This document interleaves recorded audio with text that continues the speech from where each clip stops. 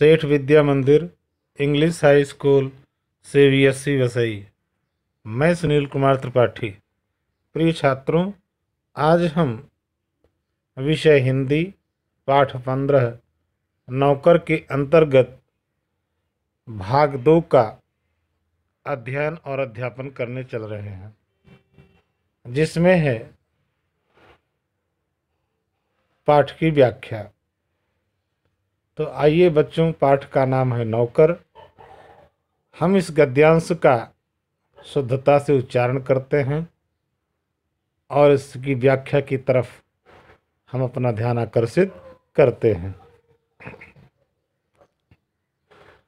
आश्रम में गांधी कई ऐसे काम भी करते थे जिन्हें आमतौर पर नौकर चाकर करते हैं।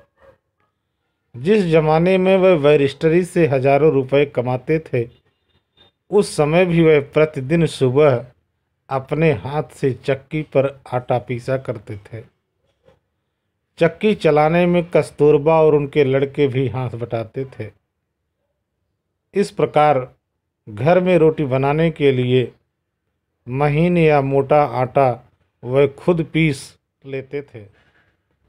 साबरमती आश्रम में भी गांधी ने पिसाई का काम जारी रखा। वह चक्की को ठीक करने में कभी कभी घंटों मेहनत करते थे।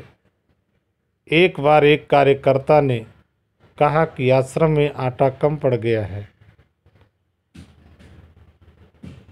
आटा पिसवाने में हाथ बटाने के लिए गांधी फ़ौरन उठ खड़े हुए। तो बच्चों, देखा इस गद्यांश में कि गांधी जी अपने कार्य को स्वयं करते थे, वह किसी के ऊपर निर्भर नहीं रहते थे। उन्हें अपने काम करने में किसी भी प्रकार की शर्मिंदगी का एहसास नहीं होता था। अब देखिए अगला गद्यांश। गेहूँ पीसने से पहले उसे बीन कर साफ़ करने पर वह ज़ोर देते थे। कहने का तात्पर्य हुआ कि गेहूँ पीसने से पहले वह उसकी उस गेहूँ में जो कचड़े होते थे, उसको साफ़ करते थे। अर्थात वह स्वच्छता से कार्य करते थे। कौपीनधारी इस महान व्यक्ति को अनाज बीनते देखकर उनसे मिलने वाले लोग हैरान में, हैरत में पड़ जाते थे। बाहरी लोगों के सामने शारीरिक मेहनत का काम करते गांधी को शर्म नहीं लगती थी। एक बार उनके पास कॉलेज के कोई छात्र मिलने आए। उनको अंग्रेज़ी भाषा के अपने ज्ञान का बड़ा गर्व था। गांधी से बातचीत के अंत में वे बोले, बापू, यदि मैं आपकी कोई सेवा कर सकूँ तो कृपया मुझे अवश्य बताएँ। उन्हें आशा थी कि बापू उन्हें कुछ लिखने पढ़ने का काम देंगे। गांधी ने उनके मान की बात ताड़ ली।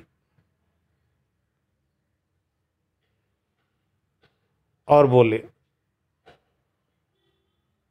गांधी जी ने, गांधी ने उनके मन की बात ताड़ ली। अर्थात उनके मन में क्या चल रहा था, वह समझ गए। और बोले अगर आपके पास समय हो तो इस थाली के गेहूँ बीन डालिए। आगंतुक बड़ी मुश्किल में पड़ गए, लेकिन अब तो कोई चारा नहीं था। एक घंटे तक गेहूँ बीनने के बाद वह थक गए और गांधी से विदा मांगकर चल दिए। आगे देखें बच्चों।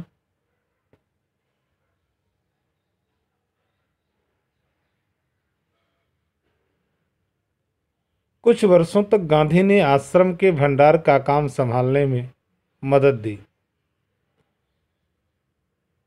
सवेरे की प्रार्थना के बाद वह रसोई घर में जाकर सब्ज़ियाँ छीलते थे।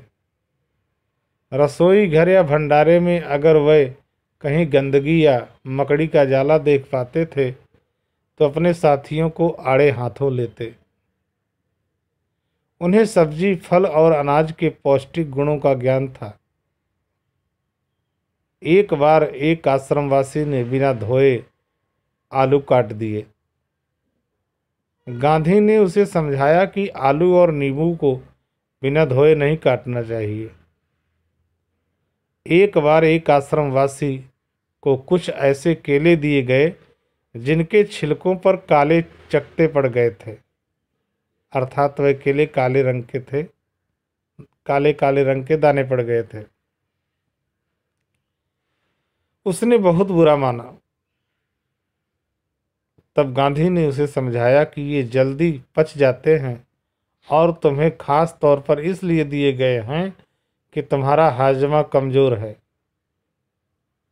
गांधी आश्रम वासियों को अक्सर स्वयं भोजन परोसते थे।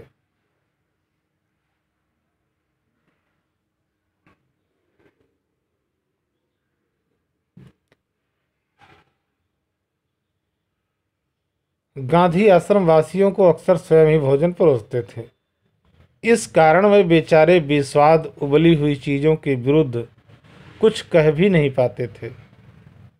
दक्षिण अफ्रीका की एक जेल में वह सैकड़ों कैदियों को दिन में दो बार भोजन परोसने का कार्य भी कर चुके थे। कहने का तात्पर्य यह हुआ, बच्चों, कि गांधी जी कोई भी कार्य करने में शर्म नहीं महसूस करते थे। किसी को खिलाना हुआ, किसी की सेवा करना हुआ, यह सब कार्य वह स्वयं करते थे। निसंकोच होकर के किसी प्रकार की उनको शर्मिंदगी नहीं थी। आश्रम का एक नियम यह था कि सब लोग अपने बर्तन खुद साफ़ करें। रसोई के बर्तन बारी बारी से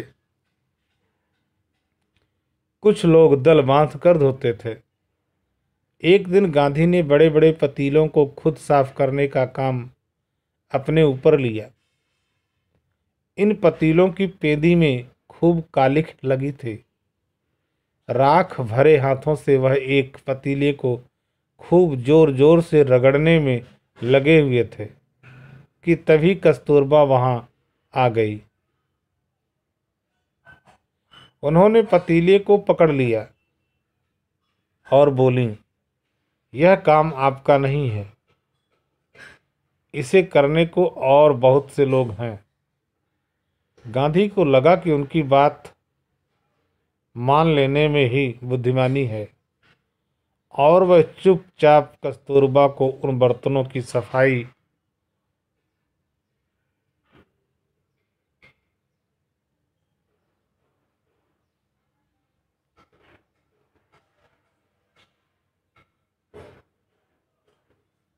और वह चुपचाप कस्तूरबा को उन बर्तनों की सफ़ाई का कार्यभार दे दिए और दे करके चले आए।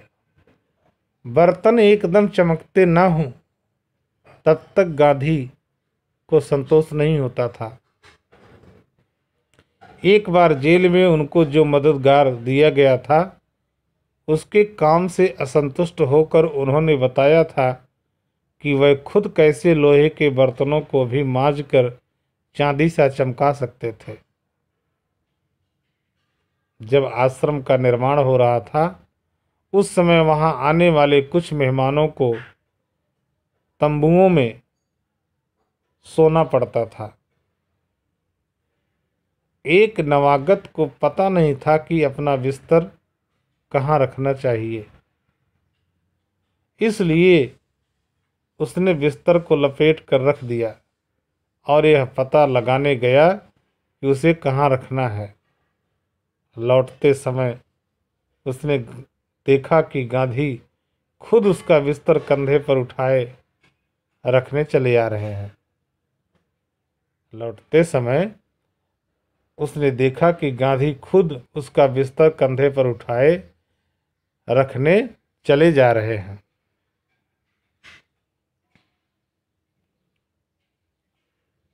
आश्रम के लिए बाहर बने कुएँ से पानी खींचने का काम भी वह रोज करते थे। अर्थात वह कुएँ से पानी रोज निकालते थे। एक दिन गांधी कुछ अस्वस्थ थे, अर्थात बीमार हो गए और चक्की पर आटा पीसने के काम में हिस्सा बटा चुके थे। उनके एक साथी ने उन्हें थकावट से बचाने के लिए अन्य आश्रम वासियों की सहायता से सभी बड़े बड़े बर्तनों में पानी भर डाला। गांधी को यह बात पसंद नहीं आई। मन में कुछ ठेस भी लगी। उन्होंने बच्चों के नहाने का एक टब उठा लिया और कुएँ से उसमें पानी भरकर टब को सिर पर उठाकर आश्रम में ले आए।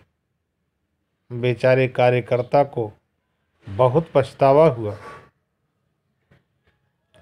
तो इस तरह से बच्चों हमारा यह भाग यहीं पर संपूर्ण हुआ। धन्यवाद।